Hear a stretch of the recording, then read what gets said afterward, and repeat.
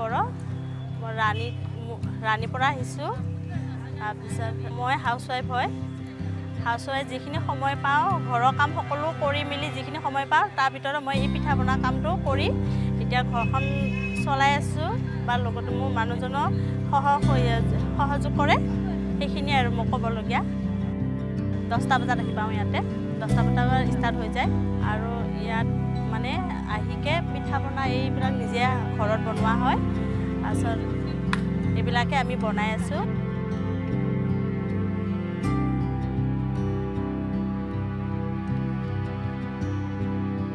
Customer যোৱা বছৰ বেছি ভিৰ আছিলে কিন্তু এইবাৰ অকণমান কম। তথাপিও যোৱাকালি অকণমান হৈছে নোহোৱা নহয়। ইয়াতে চেল মানে হয় দহ পোন্ধৰ হাজাৰলৈকে হয়। হেৰি আৰু এইবিলাক পিঠা পনাবিলাক। ডেইলিক আৰু দিনত দিনত দহ পোন্ধৰ পিঠা বনোৱাটো এইটো ঘৰৰ মাহঁত মা মাহঁতে বনাইছিলে আইতা মাহঁতে বনাইছিলে সৰু পৰাই দেখি আহিছোঁ। সেইকাৰণে আমিও এতিয়া বনাওঁ সেইবিলাককে চাই।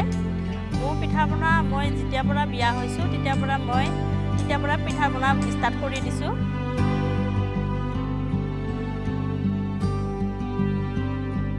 আমি ইয়াতে দহ তাৰিখৰ পৰা আহিছোঁ।